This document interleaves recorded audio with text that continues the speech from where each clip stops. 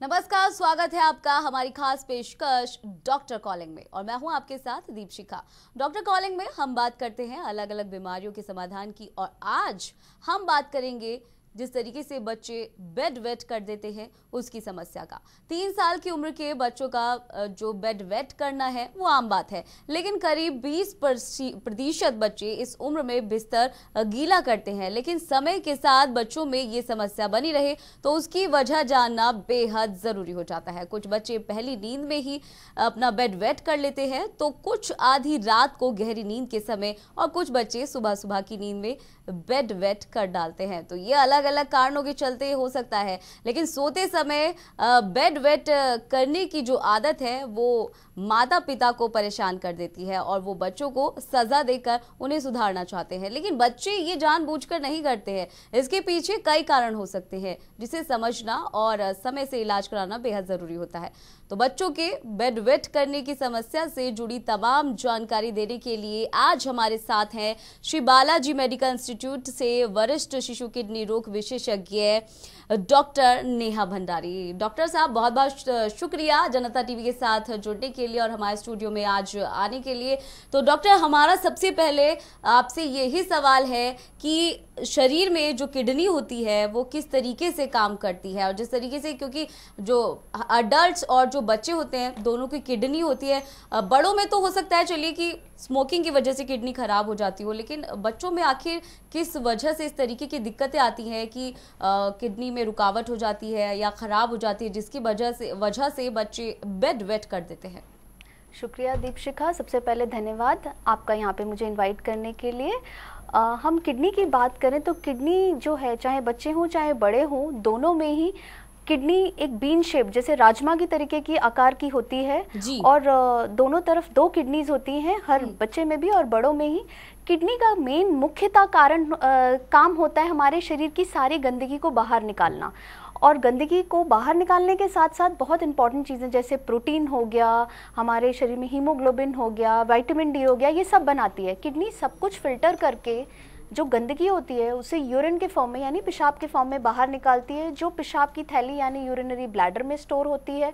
और जब हमारे दिमाग से सिग्नल ये पहुँचते हैं हमारे ब्रेन में कि हमारा ब्लैडर फुल हो गया है तो अपने आप से वो ब्लैडर फुल होने से वापस दिमाग से सिग्नल हमारे ब्लैडर की मसल्स को आते हैं कि अब हमें यूरिन बाहर निकालना है।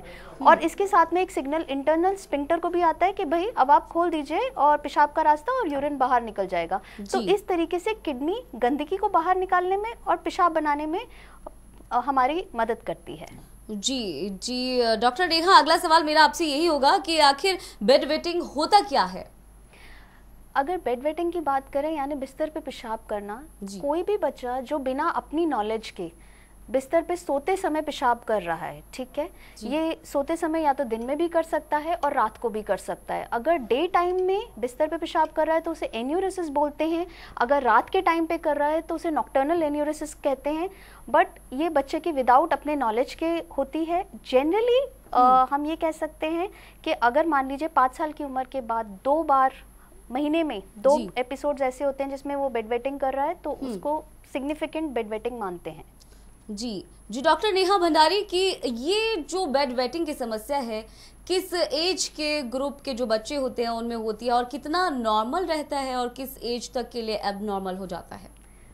अगर एक नॉर्मल छोटे बच्चे की बात करें जैसे आपने अभी बोला कि तीन साल तक बच्चे जनरली ऐसा होता है कि हम ये उम्मीद कर सकते हैं छोटे बच्चों में कि वो अपने आप से बिस्तर पे पेशाब कर लेते हैं। जी। बताते भी नहीं है उनको। एक्चुअली पता ही नहीं चलता कि हमारा ब्लैडर फुल हो गया है।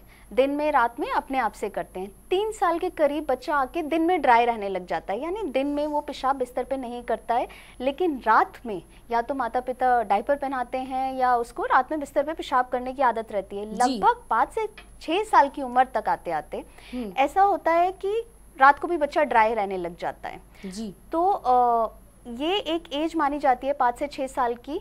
उसके बाद भी अगर बच्चा बिस्तर पे पेशाब करता रहता है तो वो बेड वेटिंग है।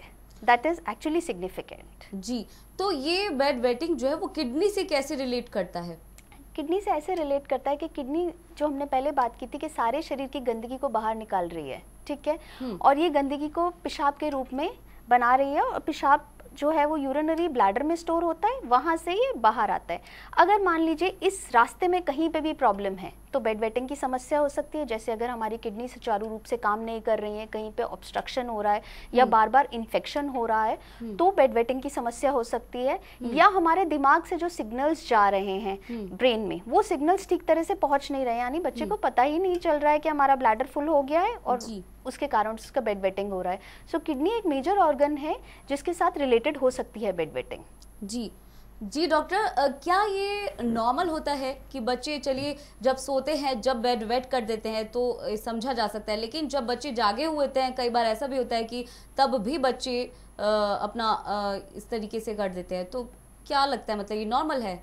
अगर देखिए हम बात कर रहे थे तीन साल तक बच्चे को हम कुछ नहीं कह सकते क्योंकि वो एक नॉर्मल बात है कि वो बिस्तर पे पेशाब करेगा। लेकिन अगर मान लीजिए तीन साल से ऊपर का बच्चा हो गया है उसके बाद भी वो बिस्तर पे पेशाब करता रहता है अगर जगते हुए पेशाब कर रहा है अपने आप से निकल रहा है या होल्ड कर रहा है। बहुत बार एक हम्म। बच्चों को आप देखेंगे कि टीवी देखते हुए काफ़ी देर तक वो होल्ड कर रहे होते हैं पेशाब और हम्म। एकदम से भागते हैं। ठीक है तो ये कुछ सिम्टम्स हैं जो बहुत ज़्यादा इंपॉर्टेंट हैं जैसे अर्जेंसी हो रही है। बच्चा एकदम हम्म। से भाग के जा रहा है दिन के टाइम में या फिर आ, बहुत बार बार पेशाब करने जा रहा है। ये भी एक नॉर्मल चीज़ नहीं है। या पेशाब रुक रुक के कर रहा है। तो ये ये तीनों चीज़ें जो हैं वो थोड़ी एबनॉर्मल हैं।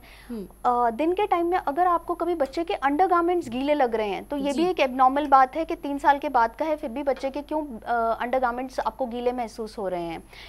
Uh, तो ये जो अगर सारे सिम्टम्स आपको किसी बच्चे को देखने को मिल रहे हैं कि उसको अर्जेंसी हो रही है फ्रीक्वेंसी हो रही है या हेजिटेंसी हो रही है यानी यूरिन थोड़ा थोड़ा कर रहा है या अंडर गार्मेंट्स गीले हैं तो डेफिनेटली uh, इनका कुछ कारण हो सकता है इन्वेस्टिगेशन कराना और बच्चे के लिए डॉक्टर से संपर्क करना बहुत ज़रूरी है। जी बिल्कुल सही। जिस तरीके से आपने कहा कि इन्वेस्टिगेशन कराना चाहिए डॉक्टर से कंसल्ट कराना चाहिए तो क्या कोई मेडिकल कंडीशन होती है जो बेड वेट से जुड़ी हुई होती है? बिल्कुल। अगर आप मान लीजिए जैसे यूटीआई हो रहा है बच्चे को यानी यूरिनरी ट्रैक्ट इन्फेक्शन हो रहा है उस केस में भी बेड वेटिंग हो सकता है।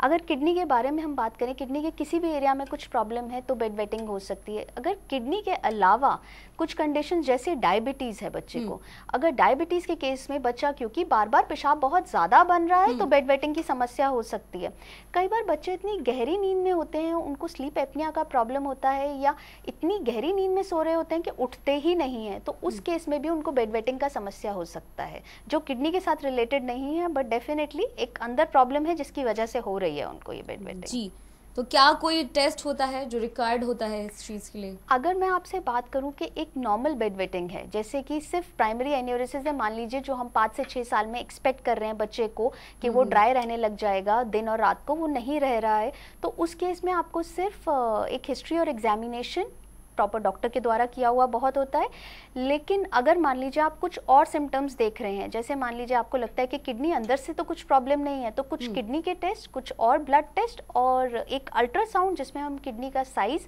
सब कुछ अंदर से पूरा देख सकते हैं नॉर्मल है कि नहीं है और एक यूरिन एग्जामिनेशन इसके अलावा कुछ स्पेसिफिक कंडीशन जैसे डायबिटीज़ है तो ब्लड शुगर का टेस्ट ज़रूरी है। कुछ स्पेशल एक्सरेज भी होते हैं जो रिक्वायर्ड हो सकते हैं।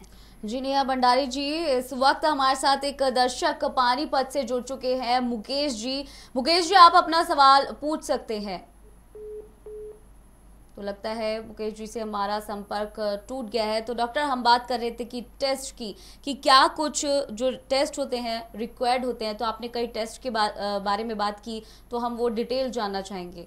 तो सबसे पहले उन टेस्ट जानने के लिए हमें ये देखना पड़ेगा कि कारण क्या होता है बेड वेटिंग का। ठीक है? तो बेड वेटिंग दो आ, हम ब्रॉड ग्रुप्स में डिवाइड कर देते हैं। एक प्राइमरी बेड वेटिंग यानी बच्चा कभी ड्राई रहा ही नहीं है। पाँच से हम्म। छः साल की उम्र से जब से हम एक्सपेक्ट करते हैं हम्म। तब से कभी ड्राई नहीं रहा। दूसरा होता है सेकेंडरी टाइप जिसमें एटलीस्ट छः महीने तक बच्चा ड्राई रहा है उसके बाद बेड वेटिंग करने लग गया है। प्राइमरी हम्म। की आपसे बात करूँ तो प्राइमरी के मुख्यतः कारण होता है डेवलपमेंटल इमेच्योरिटी यानी बच्चे को ये एहसास ही नहीं होता कि पेशाब की थैली यानी ब्लैडर भर गया है या हम्म। मुझे जाके पेशाब करना है और यही चीज़ उसको रात को भी नहीं पता चलता है कि अब मुझे बिस्तर पे पेशाब नहीं करना है ये मेच्योरिटी हम्म। बॉयज़ में जनरली लेट आती है और गर्ल्स में जल्दी आ जाती है हम्म। अगर नाइन्टी परसेंट तक पाँच से छः साल में आ जाएगी पाँच परसेंट बच्चे ही सिर्फ़ दस साल की उम्र तक बेड वेट करते हैं और चौदह साल की उम्र तक आपको एक परसेंट बच्चे फिर भी बेड वेटिंग कर सकते हैं और कारण हो। सकते हैं जैसे मान लीजिए जेनेटिक प्रीडिस्पोजिशन अगर माता पिता में से कोई एक बेड वेटिंग करता हो तो चांसेस हैं पचास परसेंट बच्चे में बेड वेटिंग करने के। अगर दोनों ही माता पिता करते हो तो ये परसेंटेज बढ़ के सेवेंटी फाइव परसेंट हो जाती है। और अगर दोनों में से कोई नहीं करता है तो परसेंटेज से फिफ्टीन परसेंट रह जाती है। और कारण जैसे हार्मोनल इनबैलेंस इसमें हम्म। सबसे मुख्यतः कारण होता है एडीएच नाम का हार्मोन होता है जो जिसका काम होता है यूरिन में यूरिन कम बनाना रात के समय में। हम्म। इन बच्चों में जो बेड वेटिंग कर रहे हैं ये यूरिन ज़्यादा बन रहा होता है क्योंकि एडीएच कम प्रोड्यूस हो रहा होता है। जी। इसके अलावा कुछ और छोटे छोटे कारण है जैसे कि मैंने आपको स्लीप का बताया था बहुत गहरी हम्म। नींद में सो रहे हैं बच्चे को बहुत ज़्यादा कॉन्स्टिपेशन है कब्जी है।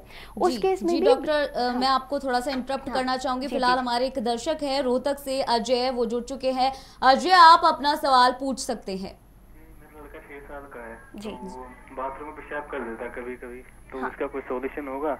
बिल्कुल सोल्यूशन होगा अजय जी। सबसे पहले तो जो सोल्यूशन की बात करें पानी आपको जो भी पानी आप देना है पूरे दिन भर में हम्म। तो आप मेन जो पानी जैसे 40 परसेंट के करीब जो पानी है वो आप दिन तक दे देंगे। बचा हुआ यानी अगर ये छः साल का बच्चा है तो लगभग इसका डेढ़ लीटर के करीब रिक्वायरमेंट है। 700-800 एम आप जब तक वो स्कूल से आएगा आप ख़त्म कर दीजिए। शाम को बचा हुआ तीन से 400-500 एम तक आप दे सकते हैं। जब डिनर आप करते हैं, जैसे सात से आठ बजे के करीब, डिनर के बाद सोने तक आपको सिर्फ़ सिप्स ऑफ़ वाटर देना है। रात के समय आपको कोई भी दूध, चाय वगैरह इस तरीके की चीज़ नहीं देनी है बच्चे को। बिस्तर पे जाने से पहले पेशाब ज़रूर करानी है बच्चे को। अगर हो सके तो रात को एक बार अलार्म लगा के उठा के कराइए।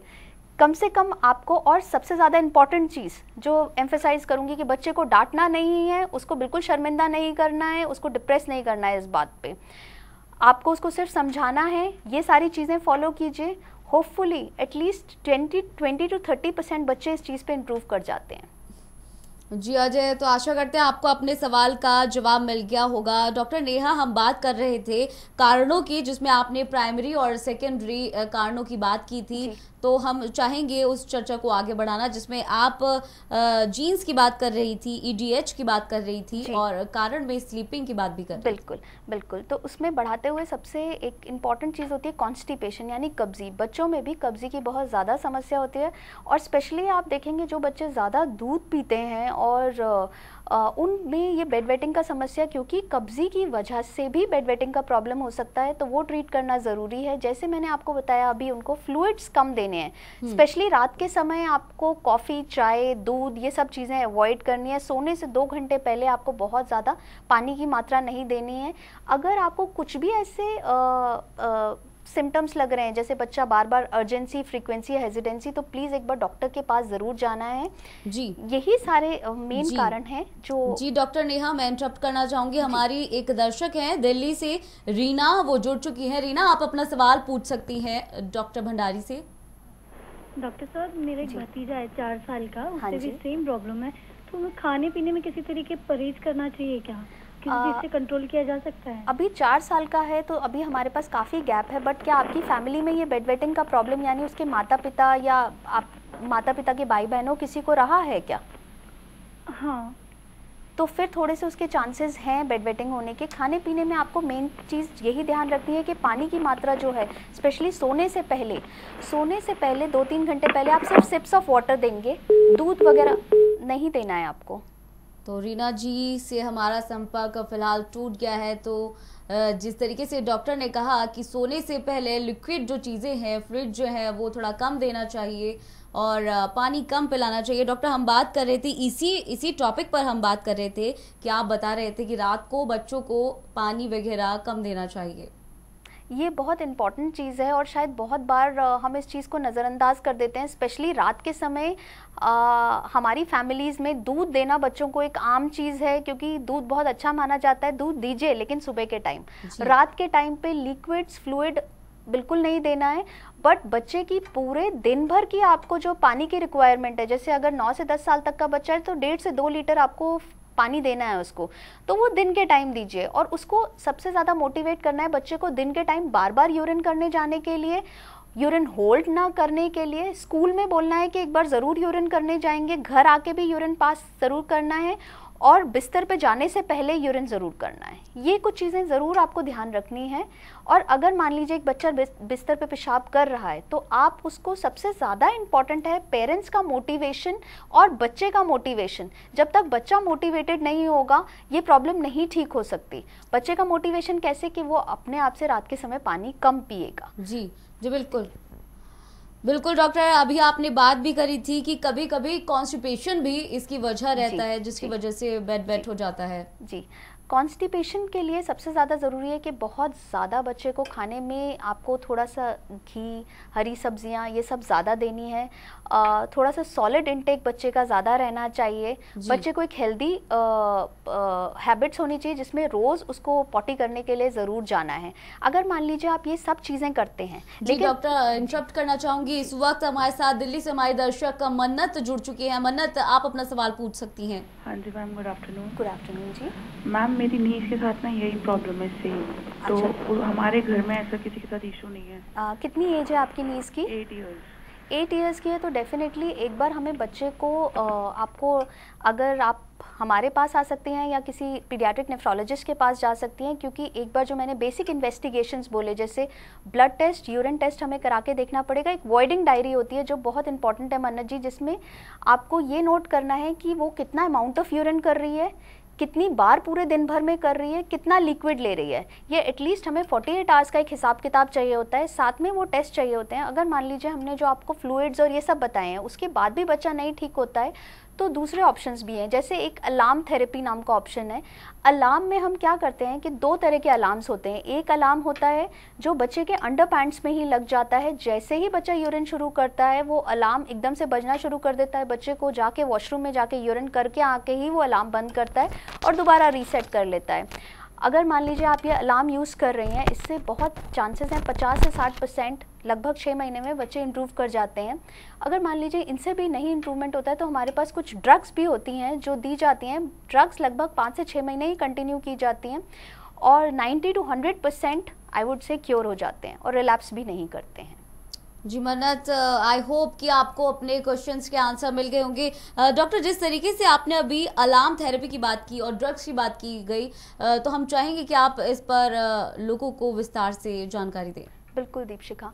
तो सबसे पहले जो मैंने आपको दो चीज़ें बताई थी मोटिवेशन अगर हमने मोटिवेट पेरेंट्स बहुत मोटिवेटेड हैं बच्चा बहुत मोटिवेटेड है आपने सब कुछ ट्राई कर लिया स्टार्स ट्राई कर लिए बच्चे को और आपने बिहेवियर थेरेपी यानी फ्लूड वगैरह भी कर लिया लेकिन उसके बाद भी आपको लगता है नहीं इम्प्रूव कर रहा तो अब हम आते हैं अलार्म की बात पे। अलार्म दो तरीके से यूज़ किए जा सकते हैं। एक अलार्म तो जो आप बेड पे लगा के रात को सोते हैं कि भाई आपको ये पता है कि मेरा बच्चे को एक से दो के बीच में ही यूरिन बेड पे पास करता है तो आप वो अलार्म लगाइए। और बट उसमें थोड़ी कॉम्प्लाइंस पेरेंट्स की तरफ़ से भी चाहिए कि रात को एक बजे हर रोज़ उठ के वो करा सकें हम्म। दूसरे तरह के अलार्म्स आते हैं जो हम बच्चे के या तो अंडर गार्मेंट्स यानी अंडर पैंट्स पे फिट कर देते हैं हम्म। या बच्चे की शीट के नीचे फिट कर देते हैं जैसे ही बच्चा थोड़ा सा भी यूरिन पास करना शुरू करता है हम्म। वो अलार्म बजना शुरू हो जाएगा बच्चे को उठना ही पड़ेगा चाहे वो कितनी भी गहरी नींद में हो उसको वॉशरूम जाना पड़ेगा वापस आएगा फिर ही अलार्म बंद कर सकता है तो ये तो हो गई बात अलार्म की। अब हम्म। जिन दवाइयों की हम बात कर रहे हैं दो तरह की दवाइयाँ आती हैं। एक दवाई होती है जो एडीएच पे काम करती है जिसकी हम पहले बात कर रहे थे यानी बच्चे के अंदर एडीएच कम बन रहा है या हम्म। उसके अंदर डेवलपमेंटल इमेच्योरिटी है ठीक हम्म। है अलार्म तो हमारा वर्क कर रहा था कंडीशन रिफ्लेक्स पे यानी मैं बार बार आपको जगा रही हूँ जब भी आपको यूरिन आ रहा है तो एक तरीके से आपका रिफ्लेक्स बॉडी में जाग जाता है कि अब दोबारा यूरिन जब भी आएगा तो अपने आप से आपकी आँख खुल जाएगी स्पेशली ये काम करता है जिन बच्चों में बहुत गहरी नींद में सो रहे होते हैं बच्चे अब दूसरी हम बात कर रहे थे ड्रग्स की। तो ड्रग्स में जो हमारे पास ड्रग अवेलेबल है वो डेस्मोप्रेसिन नाम से है। उस ड्रग से ये होता है कि एडीएच का जो हार्मोन है जो कम बन रहा है इन बच्चों के अंदर वो हार्मोन को हम एक्सटर्नली दे रहे हैं बच्चों को। और ये हम लगभग दो से तीन महीने देते हैं। उसके बाद हम टेपर ऑफ़ करना शुरू कर देते हैं क्योंकि 99 परसेंट वो बनने लग जाता है। जी नेहा जी हमारे साथ एक दर्शक है हमारी पिंकी जो कि रोहतक से जुड़ गई है। पिंकी जी आप अपना सवाल पूछ सकती हैं। जी मैम जो बच्चों को ऐसी प्रॉब्लम्स होती है उन्हें आसपास के डॉक्टर से दिखाने से राहत मिल जाएगी या चाइल्ड स्पेशलिस्ट को ही दिखाना चाहिए मैम इनिशियली आप आसपास के डॉक्टर्स को भी दिखा सकते हैं लेकिन मेन ये है कि जो ब, जो इस बेड वेटिंग की समस्या को ट्रीट करते हो क्योंकि ज़्यादातर डॉक्टर्स ये कह सकते हैं कि ये अपने आप से ख़त्म हो जाएगी जो वो गलत नहीं कहते हैं। लगभग 9 से 10 साल तक 5 परसेंट बच्चों में ही रह जाती है। लेकिन मैं अभी फिर दोबारा वही चीज़ रिपीट करूँगी कि ट्रीटमेंट डिपेंड करेगा सीवियरिटी ऑफ़ कंसर्न पे और पेरेंट्स और बच्चे के मोटिवेशन पे। कोई भी ट्रीटमेंट तभी काम करेगा बेड वेटिंग के लिए जबकि बच्चा बहुत मोटिवेटेड है पेरेंट्स बहुत मोटिवेटेड है और वो किस हद तक ट्रीटमेंट लेना चाहते हैं। तो सारी चीज़ें उसी पे डिपेंड करेंगी। तो अगर आपको लगता है कि आसपास के डॉक्टर इक्विप्ड हैं इस ट्रीटमेंट इस चीज़ को ट्रीट करने के लिए तो आप उनके पास जा सकते हैं। अगर आपको लगता है कि ये प्रॉब्लम ज़्यादा परेशान कर रही है, बच्चा भी डिस्ट्रेस्ड है और आप भी डिस्ट्रेस्ड हैं इस प्रॉब्लम से तो डेफिनेटली आपको एक स्पेशलिस्ट के पास जाना चाहिए, क्योंकि प्रॉब्लम का सोल्यूशन तभी होगा। जी पिंकी जी, आशा करते हैं कि आपको अपने सवालों का जवाब मिल गया होगा। तो आज हमारे स्टूडियो में हमारे साथ मौजूद हैं श्री बालाजी मेडिकल इंस्टीट्यूट से वरिष्ठ शिशु किडनी रोग विशेषज्ञ डॉक्टर नेहा भंडारी। नेहा जी, बहुत बहुत शुक्रिया हमारे साथ हमारे स्टूडियो में आने के लिए। तो फ़िलहाल डॉक्टर कॉलिंग में इतना ही और रुकेंगे एक ब्रेक के, लेकिन ब्रेक के बाद जनता टीवी पर खबरों का सिलसिला जारी रहेगा। तब तक बनी रहेगा हमारे साथ। हमें दीजिए इजाज़त। नमस्कार।